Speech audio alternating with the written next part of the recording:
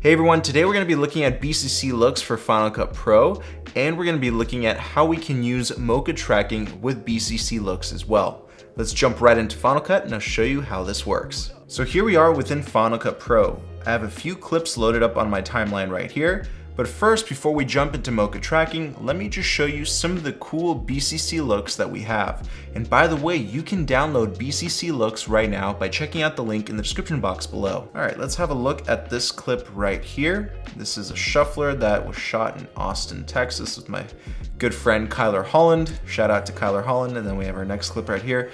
But right now, let's focus on this clip. I'm gonna go ahead and go to BCC Film Style and then right under BCC film style, we're gonna drag and drop BCC looks right onto this clip. Then I'm gonna go into the effects editor. It's gonna open up a new window and right away we have a bunch of different presets right here. Very cool that BCC has a bunch of options here. So for example, we can go directly to black and white and you can immediately see that we have grain emulators within this LUT, so to speak. I do call these LUTs because that's basically what they are. But these LUTs have a bunch of different elements in them. Let's quickly scroll through a few of these and see which one would look really nice. Ooh, this one's actually kind of pretty. This one's great too. Basic warm diffusion. I actually like this one a lot. It makes this bokeh here in the foreground pop up some more. And on the right panel here, we can make a ton of different adjustments, especially with the base color of this diffusion effect. We can even change the blend modes similar to basic Cut Pro controls. So we can go to add, we can go to normal, we can go to screen, and you can see how the effect changes. By default, it's set to screen, and we can change the base color, obviously, as I mentioned, by just moving around the dial here or the color spectrum. If you go to green, it'll have a slight greenish hue, but I'm gonna undo that because I do like that warmer look. We can even change the amount of diffusion simply by putting in our own number. Let's put in 100 and see what difference it makes. Wow, made it a little bit warmer and a little bit softer. Let's put in 20 yeah, you can see the effect a lot less. So I actually liked 100. We're gonna go with 100. And what's really cool within the effects editor is that you don't have to necessarily close this window to look at the before and after. You can just go to the A and B side comparisons and you'll see the top with the effect applied and the bottom being the original clip. You can also save this custom look. Just go to File, Save Setup, and save it to wherever you want. You can also open this up on any other platform with BCC looks installed. So I'm to close out of that, click yes to save changes, and there you go. Again, before, after, awesome.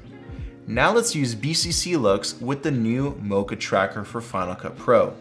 So I'm gonna go to my next clip right over here. Just gonna play it back.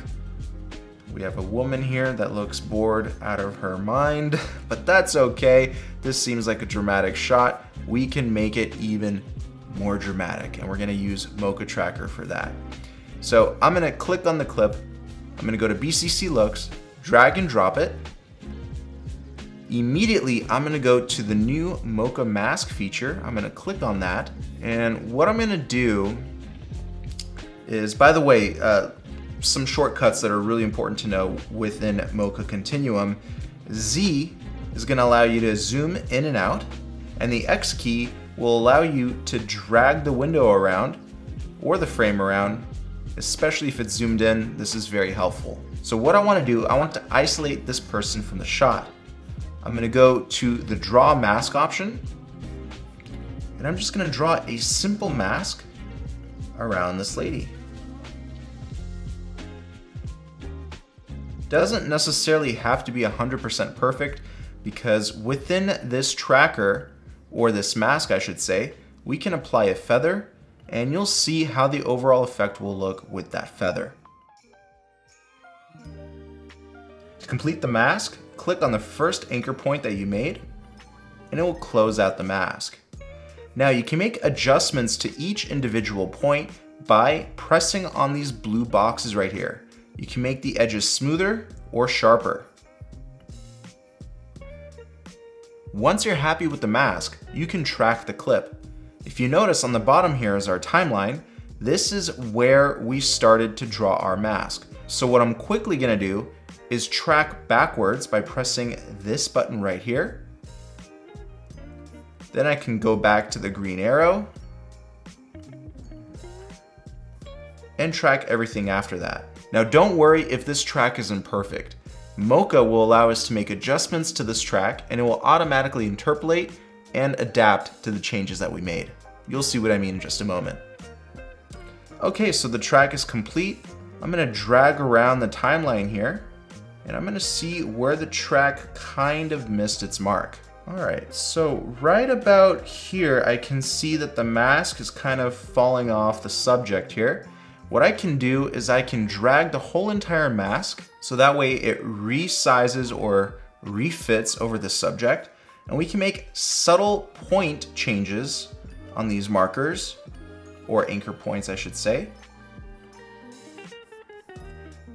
You can highlight multiple points at once and adjust those as well. And you'll notice that we have another little green arrow here, which is actually a keyframe every single subtle change that we make to this mask will be viewed on your timeline using these green little markers or keyframes. Again, this mask doesn't have to be 100% perfect. I'll show you why in just a bit. Now that the track is complete along with the changes I've made, I'm going to go ahead and save it by clicking on the upper left hand icon right here. Then I'm going to close the window. Now the track is applied to the clip. All we have to do now is choose the perfect LUT to go along with it. So I'm going to open up the effects editor. And since I want this to be pretty dull and uh, dramatic, I'm going to go to the aged look. Now you can see that the effect was applied just to our subject. I personally wanted everything outside of the subject to have that effect or LUT. So I'm going to go to the pixel chooser I'm gonna go down to the mask and I'm gonna invert the mask. That way, everything outside of the subject has that LUT applied to it. Now we can make this effect even better. We can have it fade in.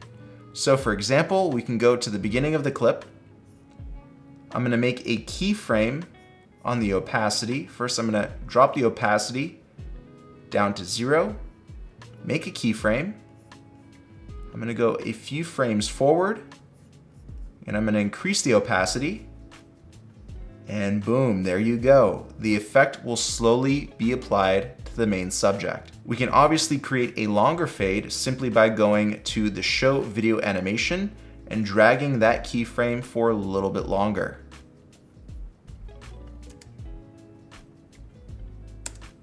And there you go. Now if you notice, the mask is a little bit sloppy here. We can always make adjustments to that mask simply by opening up Mocha Mask and making that adjustment.